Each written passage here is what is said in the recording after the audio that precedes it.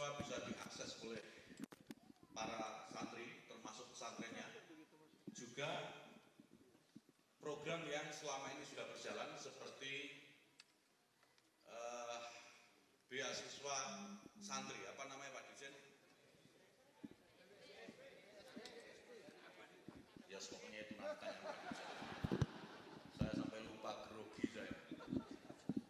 Eh, beasiswa untuk santri sudah sudah ada gitu dan insya Allah depan akan ditingkatkan sehingga semua santri semua santri di seluruh Republik Indonesia ini bisa menikmati akses pendidikan dengan baik. Yang kedua, pesantren tidak pernah bisa dilepaskan dengan apa yang disebut dengan Nahdlatul Tujar atau kebangkitan orang-orang yang dagang seperti Bapak Ibu sekalian ini. Jadi bagaimana kita meningkatkan kapasitas ekonomi yang kita miliki agar pesantren bisa mandiri, ya bisa mandiri dan tidak tergantung dengan pihak-pihak lain di luar pesantren. Pesantren kalau ingin membuat kegiatan tidak perlu lagi membuat proposal.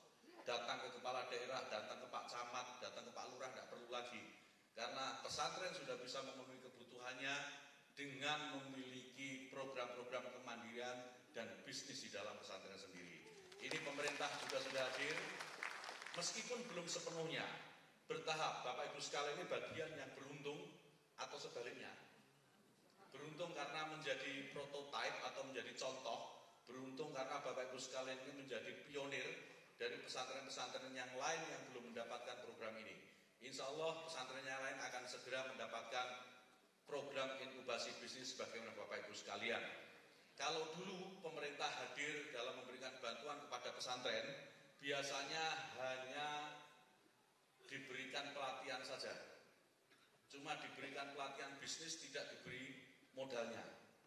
Ya pasti modal adil kalau cuma pelatihan. Ada juga pesantren yang dikasih modal tidak dikasih pelatihannya.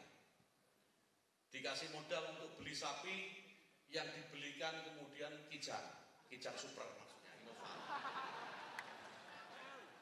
Ada program disiapkan untuk beli sapi, bukan beli kijang.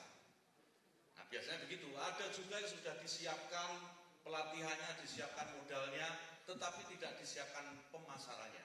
Inkubasi bisnis yang sekarang diterapkan oleh Kementerian Agama ini Bapak Ibu sekalian, kita akan siapkan mulai dari pemilihan bisnisnya, pelatihan bisnisnya, modalnya, sampai off-taker atau siapa yang akan mengambil produk dari pesantren yang Bapak Ibu kelola.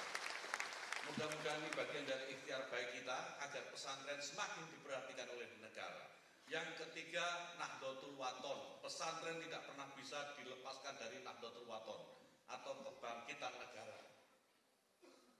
Indonesia dengan pesantren ini, pesantren terhadap Indonesia memiliki jejak sejarah yang panjang.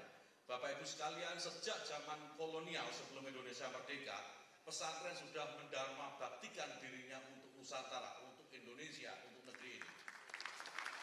Dulu ketika zaman kolonial tidak ada sekolah yang bisa menampung anak-anak anak-anak kita di pelosok pedesaan yang bisa mengakses sekolah hanya mereka keturunan Belanda atau para priayi. Tapi pesantren kemudian hadir untuk bisa memberikan pendidikan alternatif kepada seluruh anak bangsa. Oleh karena itu pesantren disebut oleh banyak orang sebagai lembaga pendidikan genuine atau asli milik Indonesia. Di tempat lain tidak ada pesantren. Epos sejarah ini berlanjut ketika perang kemerdekaan, para santri-santri di pondok pesantren juga ikut berjuang dalam memerdekakan negeri ini. Banyak pahlawan-pahlawan dari pesantren yang gugur dalam memperebutkan kemerdekaan negeri yang kita cintai ini. Ketika tentara sekutu ingin menjajah kembali Indonesia, kita tahu tanggal 22 Oktober 1945 Hadratus Syekh Hasim As'ari, Rois Akbar, pengurus besar Nahdlatul Ulama kemudian mengeluarkan sebuah perintah yang kita kenal dengan nama resolusi siap.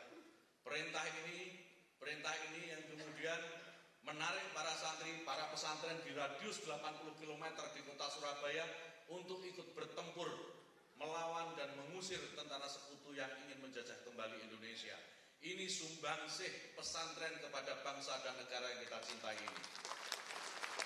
Epos terus berlanjut ketika pemberontakan PKI, kita tahu santri-santri kita menjadi korban dari keganasan kudeta PKI.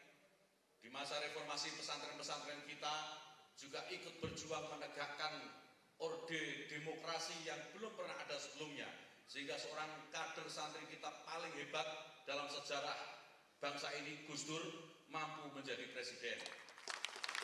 Namun Bapak Ibu sekalian, saudara-saudara saya yang saya cintai dan saya banggakan, kita perlu kemudian mempertanyakan apa yang sudah negara kontribusikan untuk pesantren.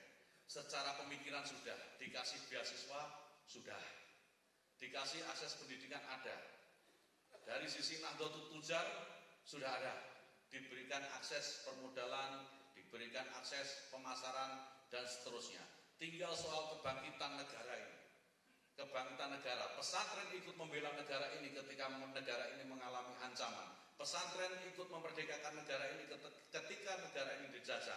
Nah sekarang kita hadirkan Pak Menteri Pertahanan Republik Indonesia kita, Bapak Prabowo Subianto, untuk menyampaikan kepada para santri, kepada pesantren semua, apa kontribusi negara dalam ikut terlibat, ya, ikut terlibat mengembangkan pesantren dan partisipasinya dalam ikut membela bangsa dan negara yang kita cintai ini. Inspektur Jenderal, Direktur-Direktur Jenderal yang hadir di sini, kemudian juga hadir Bendara Umum PBNU, Gus Gudvan Arif yang saya hormati, sahabat saya lama, para tokoh agama yang hadir di sini, para pejabat eselon 1, staf ahli, staf khusus, tenaga ahli Menteri Agama, serta yang saya muliakan para pimpinan pengasuh pondok pesantren. Saya akan bicara tidak terlalu lama, tetapi saya juga sudah menitipkan buku, mudah-mudahan buku itu bisa bermanfaat untuk dipelajari. Karena memang benar tadi disampaikan Menteri Agama peran para ulama, peran pesantren dalam perjuangan bangsa sangat-sangat besar. Ratusan tahun perlawanan terhadap penjajah yang datang untuk menjajah kita banyak dipelopori oleh para kiai, para ulama yang mimpin perlawanan ini. Kalau kita lihat pahlawan-pahlawan bangsa, mungkin lihat gambarnya, lihat lukisannya, mungkin sebagian besar ketahuan pakaiannya itu pakaian ulama. Bahkan Pangeran Diponegoro pun, walaupun pangeran waktu mimpin perjuangan, beliau berjubah berpakaian ulama. Beliau mimpin di atas kuda perlawanan sebagai pemimpin umat agama. Di situlah menyatu sebetulnya ulama dan umaroh demi mempertahankan kepentingan bangsa rakyat. Karena rakyat Indonesia memang sebagian besar adalah beragama Islam, berarti kepentingan bangsa artinya juga kepentingan umat Islam. Saudara-saudara sekalian, sangat benar perjuangan kemerdekaan kita memang proklamasi kemerdekaan dilakukan di Jakarta 17 Agustus 45. Tetapi ujian kemerdekaan dilakukan di Jawa Timur mulai Oktober sampai puncaknya 10 November 1945 dan benar sekali peran yang sangat penting yaitu dimainkan dijalankan oleh ulama-ulama besar yang puncaknya adalah resolusi jihad yang dikeluarkan 22 Oktober. Itulah yang menggerakkan menyatukan dan memelopori perlawanan rakyat semesta. Dan di situlah sampai sekarang sistem pertahanan Indonesia kita sebut sistem pertahanan kita adalah pertahanan keamanan rakyat semesta. Penyerahan penghargaan dalam bentuk bantuan kepada pondok pesantren terbaik penerima inkubasi bisnis pondok pesantren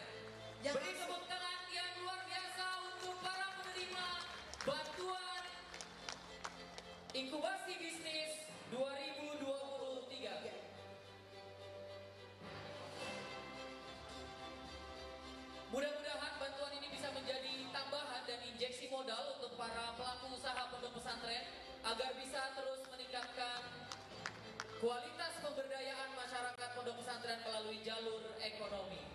Betul sekali Gus Romzi dan kali ini kami mohon kesediaan Bapak Menteri Pertahanan dan juga Menteri Agama untuk dapat melakukan